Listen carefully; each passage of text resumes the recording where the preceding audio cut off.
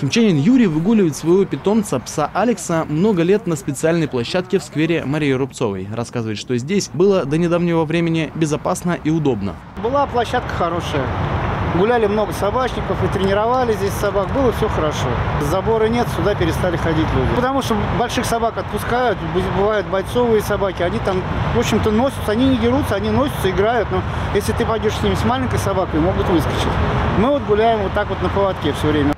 Площадка для выгула собак в сквере Марии Рубцовой пришла в негодность, поэтому покосившийся забор и обветшалые лестницы решили заменить. К работам приступили в начале ноября, и сейчас ремонт площадки на финишной прямой. Заменили все снаряды для собак, монтировали лавочки для хозяев и приступили к возведению забора. Площадь э, составляет 1125 квадратных метров. Вот. В настоящий момент, как вы можете видеть, уже выполнены работы по завозу грунта, по уплотнению, то есть подготовке основания, завоз газона рулонного, его укладка.